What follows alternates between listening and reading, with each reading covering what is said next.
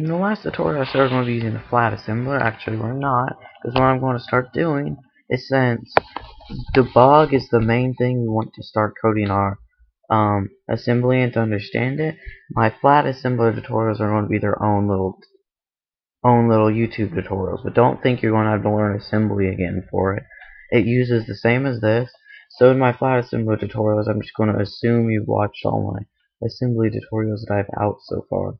So you don't worry, it's not it's not going to like reteach you everything. And flat assembler is much nicer. But before we go to the flat assembler, there is like an, another and before we start this whole get user input, there's something I want to show you real quick. So create your file on your desktop, an assembly file. Just open Notepad and save a file as test.asm. And then open it with Notepad. Now, remember how we like um, said like A100 jumped 120 and then we opened space to find data here? Since we're writing in Notepad now and we're not feeding into the console, we don't we can just go ahead and add all our data at the end. Because remember how I said, um, like,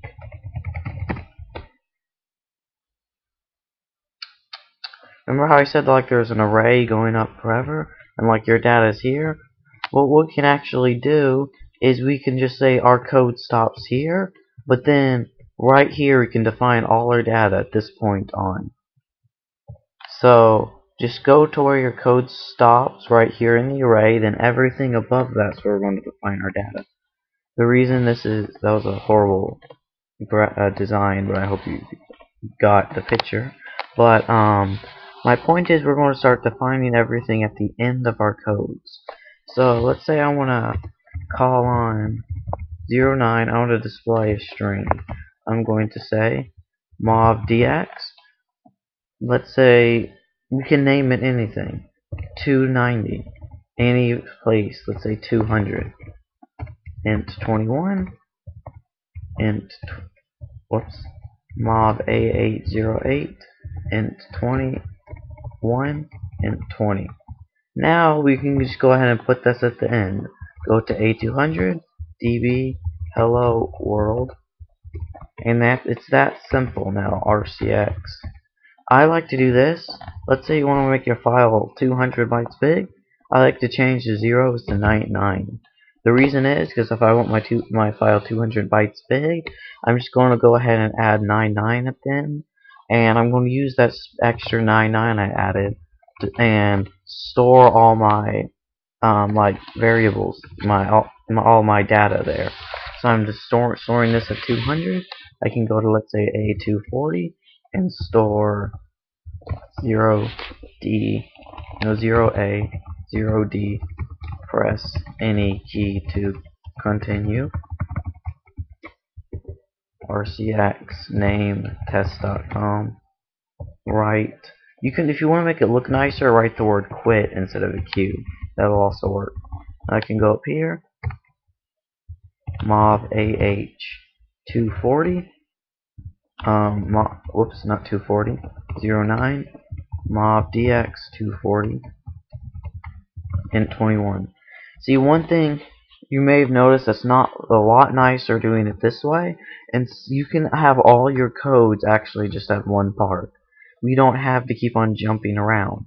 And then anytime we want to define some bytes, just write where you want to define it, then db and that. It's so much quicker and easier, and you don't have to do any math. Like, if there was a jump here, like you've seen, you'd say, okay, we got this one's at 202. The reason I didn't show you this before, because I wanted you to understand data more and while we're jumping, and also, if you want to, eh, if you're coding from the console, where since we're coding from files now, and you want to do this way, when you put your codes at the end, that means you're going to have to plan out what your file is going to look like before you start putting it into the prompt. But now since we're coding it in files like this, you don't have to plan it out. So we can write debug test.asm and then it writes it and we can just write test and it says hello world pressing the key to continue. But I want to show you how to get user input. First thing you want to do is think of a free space. right here is a free space, 200. All of 200 all the way to 299, or the max size of our file. So that's a free space. So we can just erase. Hmm, I'm going to go ahead and leave pressing the key to continue there, but let's erase the first one. Let's go ahead and add some stuff. 200 find bytes. What is your name? Now, let's say, yeah, 240, pressing the key to continue. I'm going to give myself a little bit more room, like A280, define bytes, um, hello, comma, and then that. So what we're going to do, we're going to make it say, what is your name? Let you type something in. Then it's going to say hello and your name, then press any key to continue and pause.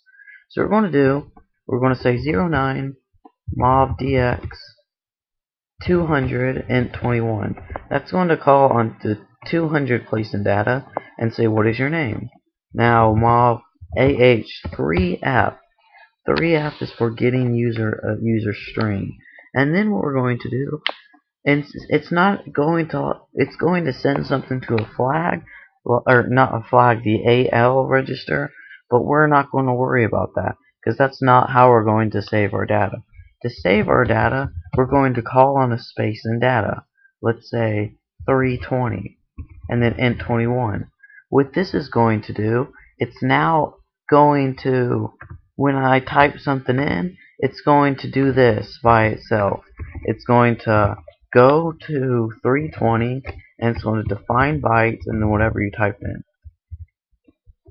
So that is going to do that by itself. It's like, okay, so you want to get a user input, so it's going to pause for me to type something in. Then it's going to be like, okay, you you you're getting it from 320.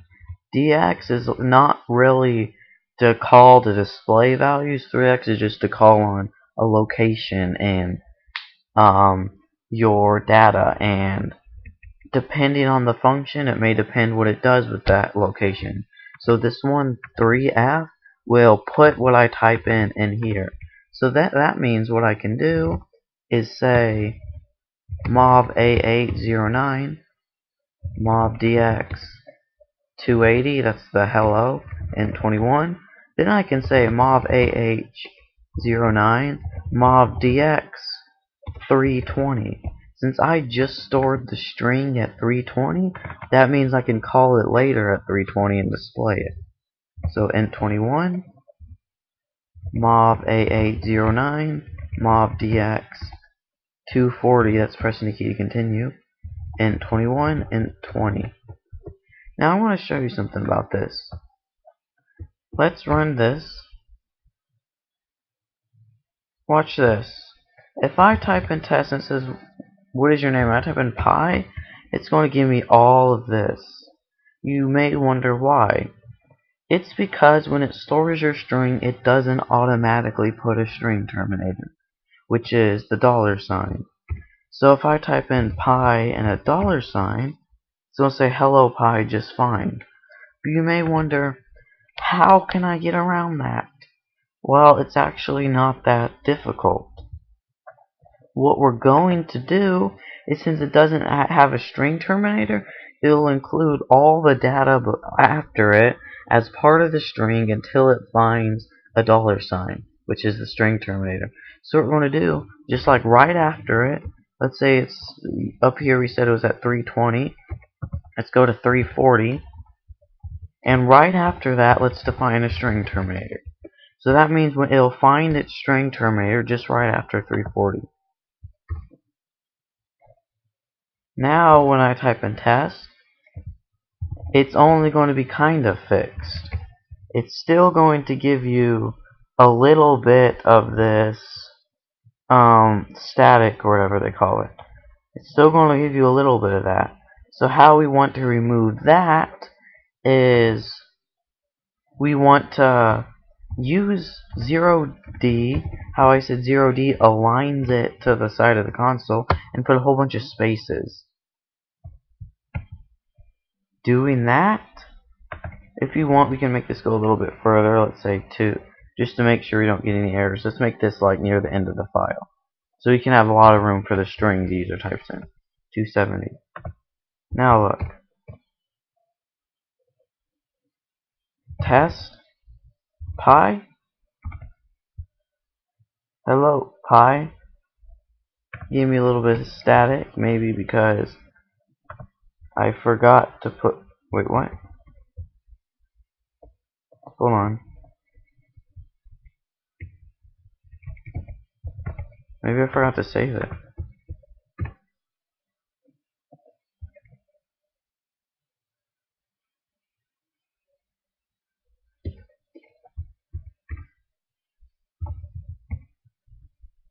There we go, see?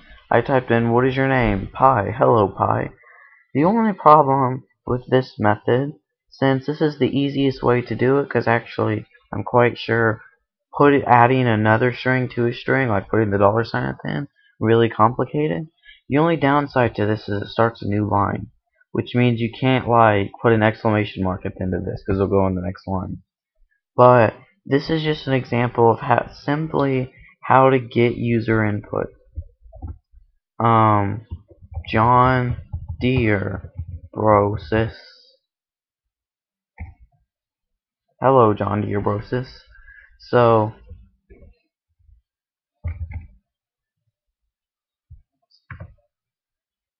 oh, whoops.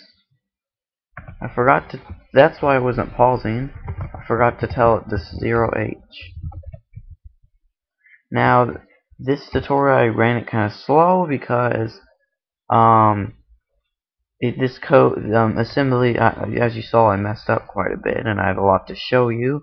So you can play around with 3F if you want, but that's to get user input. Just remember, when you use DX to call on a place of data with 3F, you're not calling on it to get the data and get the data inside of it. You're calling on it just to define the data you're going to be using. So AH is going to, okay, okay, you want to write a string. Where do you want to send that to? And you're going to send it to 320.